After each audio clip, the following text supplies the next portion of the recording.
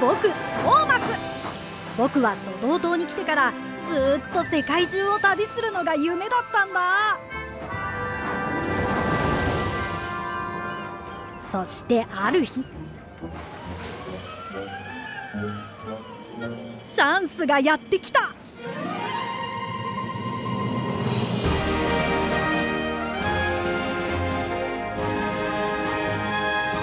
僕は世界中で活躍することになったんだ。回の舞台はリオデジャネイロ僕はブラジルの広大な土地を走っていたブラジルは南アメリカの国種類の違う貨車を引きながらリオデジャネイロに向かっていたんだお客さんの一人が「おい!」と僕に話しかけてきた僕はびっくりしたそれに「おい!」だなんて失礼だと思ったんだだけど彼はこう説明したブラジルで「おい!」は「こんにちは」って意味なんだどうもはじめまして。僕はグスタボ。作物を売る手伝いをするためにリオデジャネイロまで行くんだ。はじめまして。僕はトーマス。お手伝いができて僕は嬉しかった。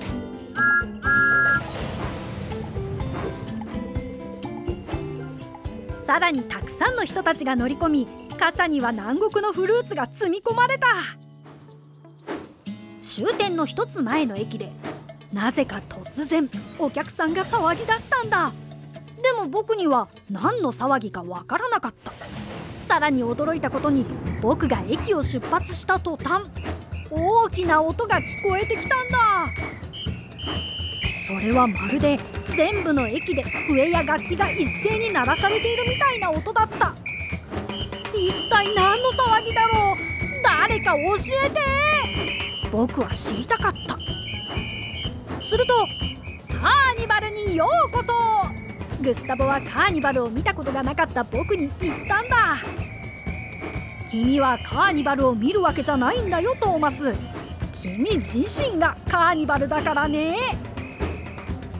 なんと一番をつけた青い機関車の僕こそがリオのカーニバルの主役だった。